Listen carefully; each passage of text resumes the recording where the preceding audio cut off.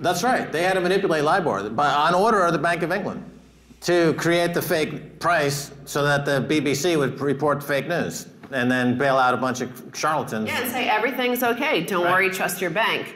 And um, you're supposed the the prices were supposed to be your verification. Uh, don't trust the bank. Just use these LIBOR rates. Use these sort of numbers. Use the price of gold to determine whether or not it's true what we're saying. And of course, they had to rig those in order to like it. Basically, they were the big cash as well of the time. They like if you know the the speaker before us had a chart which suggested there the, one of the options of why it, there's a premium on it could be manipulation. Uh, Bitcoin Cash you're referring to? Uh, Big cash. Oh yeah, big cash. That's another story. We can get into that. Oh yeah, stock trading robots reacting to stories. I just made reference to this. So um, you've got the basically financial news is being written by robots, and then they create the news, and then other robots read that news, and then they do algorithmic trading on Wall Street based on the news written by a robot that a robot uses to trade stocks and create prices that are then reported by another robot. Uh, so that's That, that's another uh, scary thing to think about is that is Satoshi Nakamoto a robot that created some currency for itself to, um, you know, basically. Well, you know, take- my theory is that Satoshi's coming from the future, and he arrived, and he's heading back to the beginning to meet God, basically. oh yeah, and Wells Fargo just nickel and diming people to death. Uh, malicious algorithms that just go in there and steal money. Again, there's no penalty. There's no there's no criminal um, charges for this type of fraud, and and it just th- th- this is a, a scourge like the plague that needs to be eradicated, or or uh, you know uh, gonorrhea or syphilis. I mean, Wells Fargo is the syphilis of Wall Street, uh, and Bitcoin is penicillin, essentially. Yeah, and if you're Is that talking. If you turn, if you're talking about looking into the past, one day these sort of headlines will be like this. These are pre-blockchain sort of financial banking stories. Like Right, it'll be these will- reading like- yeah. children, you know, people that are 10, 12 years old now. In the future, they'll this will look like a freaky world that you could live in a world where bankers could had all control of your wealth and and they could create fake accounts for you and start trading and you didn't even know that they were operating in your name. Yeah, they won't believe it. They'll be part of the myth. 15 years of collecting rhino semen, finally paying off.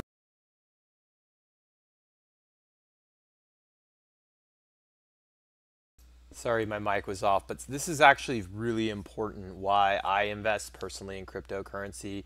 I think our banking system is a joke, especially the Wells Fargo uh, scam or hustle, whatever you want to call it. The fact that they were able to make millions of dollars stealing basically reverse Robin Hood, uh, taking money from people who obviously were, were was not as wealthy as Wells Fargo. And once they get caught, it's hilarious that in the beginning all they did was just fire all the low-level employees, and that's all that was going to be done. But obviously there was a backlash. Finally, they, they decide to punish the CEO. So they go to the CEO who basically encouraged this fraud. There, you know, everything is written down with you know the share uh, shareholder meeting. So uh, clear cut and dead that the CEO was totally uh, for or pro opening up these bank accounts and basically nickeling and diming customers. Um, and so they punish him by giving him a $200 million severance package. So they give him a slap on the wrist. They're like, sorry, Mr. CEO, you can't be CEO anymore, but here's $200 million for uh, running such a great scam. And um, this stuff kind of continues because our politicians are bought by banks, and uh, you know the bankers have all the money, so they can obviously uh, influence politicians to allow this hustle to happen. And crypto is the cure. Max Keiser is 100% right that um, as these central bankers and banking monopolies, banking cartels lose power over the finance system, they're not going to be able to play games like this.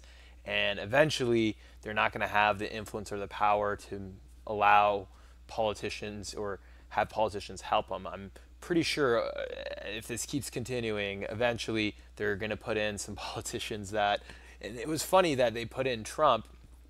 Trump was supposed to go against the Goldman cartel and kind of break it all up. And I think that's one reason why people really supported Trump. They wanted to see change and were tired of, um, let's just be honest, Obama was bought out by C- Citibank.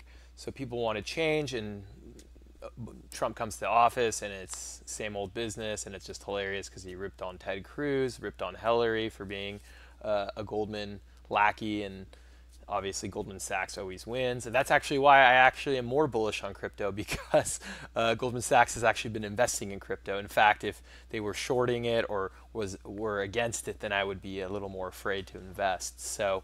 Um, please check out RT, check out Max Keiser. Uh, I'm gonna try to cover more uh, fast money, but like I said, people hate the the fact that I have to come in and out every 30 seconds to uh, give my opinion on the fast money stuff. RT is super chill. I can make my comments like this and not be bothered. And the issue with RT is they do have very long interviews and videos. It's 25 minutes. I, I recommend it, but sometimes people, you know, just don't have the time and want, you know, the shorter clips. And for whatever reason, you like my opinion and analysis. I hope. And if not, leave comment, leave comments so I can improve and obviously do a better job. But anyways, let me know what you guys think. Thank you very much for watching, and I will talk to you guys soon.